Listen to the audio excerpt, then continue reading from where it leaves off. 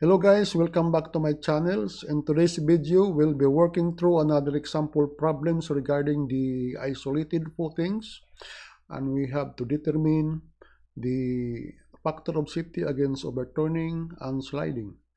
So let's dive into the problem. The problem, uh, the concrete footing depicted below support a load from a pre-engineered steel building columns.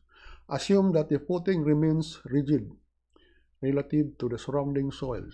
The soil has a density of 110 pounds per cubic foot, while the concrete has a density of 150 pounds per cubic foot. The coefficient of friction between the soil and the footing is mu is equal to 0.5.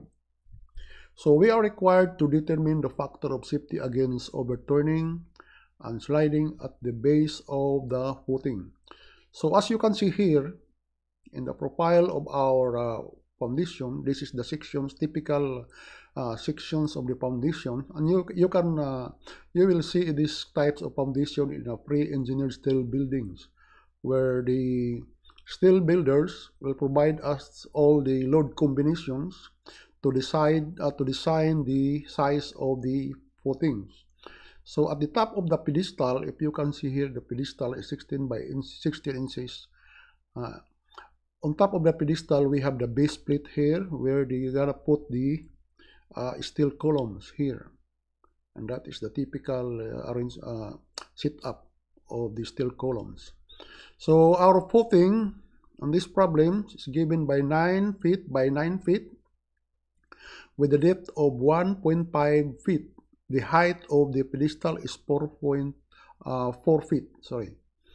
Now, uh, let's proceed to the solution. First of all, we need to determine the overturning moment. So the overturning moment, moment for this particular problems is only we have 35 kips, the lateral loads from the column reactions.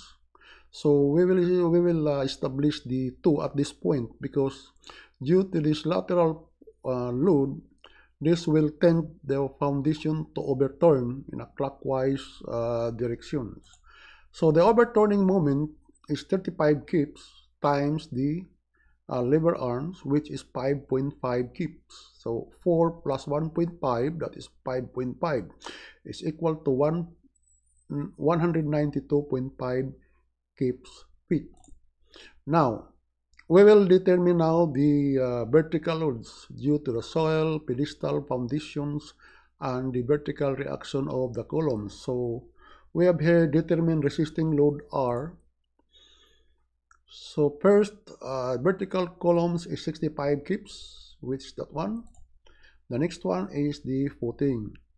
For the footing, we have 9, 9 feet by 9 feet times 1.5, that's the volume, times the density of concrete, 150 pounds per cubic foot, is equal to 18,225 pounds or uh, 18.23 kips. And that is for the footing. So for pedestal, we have 16 inches by 16 inches times 144 and we'll just convert it into feet to be consistent with our units. Times 4 feet times 150 density of concrete. And that would give us 1,066.7 pounds or 1.07 kips. So that is for pedestal. So the last one is the over uh, the weight of the soil above on the footing. So the soil is that we need to account is at this from this point to that point which is 9 feet. So 9 feet times 9 feet minus 1.3 times 1.3. So we deduct the area covered by the pedestal because we have accounted that already here. Then the, the net weight of uh, soil is times 4 times the density of soil 110 pounds per cubic foot and that would give us 34,000 896.4 pounds, which is equal to 34.9 kips. Then the total vertical resisting loads are, this is all down downward loads. due to the column loads, soil, pedestal, and the footing. So the total is 65 kips from the columns, 18.23 from the footing, plus 1.07 from the pedestal, and 34.9 kips from the overburden soil. So the total is 119.2 kips. That is for the vertical resisting load R. The next one is to, to determine the resisting moment.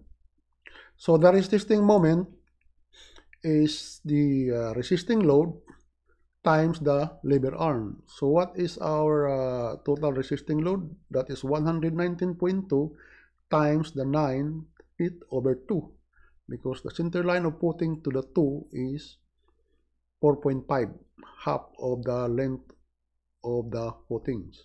So we have 536.5 kips feet. Okay. So now we will proceed to find the safety factor against overturning. So for overturning, we have the uh, RM over OM. So RM 536.4 kips feet over 192.5 kips feet. So we have uh, determined this earlier. Is equal to 2.79. So that is our factor of safety against uh, overturning, which is greater than 1.5. Normally 1.5 or 2, and that's good enough. So we are okay for overturning. Now, the next one is to find the factor of safety against the sliding. This sliding, actually, this is very important because if the lateral is big enough, there's a tendency of foundation to slide. Not actually uh, uh, slide uh, perfectly, perfectly move the left side, but sometimes it in the actual actually it will move you know uh, side side sideways um, there was a misalignment of column because of that movement. So we need to determine the factor of safety against overturning and the formula is uh, equal to f over h. F is the frictional force which is always against to the lateral uh, load. So our uh, frictional force here at the base of the footing is opposite to the direction of 35 kips. So now we will calculate the what is that uh, frictional resisting force. The frictional resisting force at the base of footing is F is equal to mu R. Mu R is the coefficient of friction between concrete and the soil. So we are given that 0.5 times the uh, R, which is the total uh, resisting load so it's equal to 0.5 times 119.2 is that would give us 59.6 kips. So the lateral loads of the uh, primary columns is 35 kips. We have that already. So we will just divide that one. So factor of safety against sliding is 8 over 8. So 59.6 kips divided by 35 kips and that would give us 1.7 which is greater than 1.5 so we are okay for the sliding factor of safety. So i think uh, that's all guys and that concludes our solution to this uh, problem. So please uh, if you have any comments please uh, comments down below.